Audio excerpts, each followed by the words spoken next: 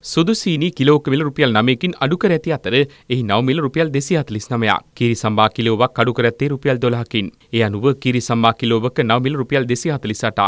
ආනයනික අර්ථාපල් කිලෝවක් රුපියල් 45කින් අඩු කර තිබෙනවා.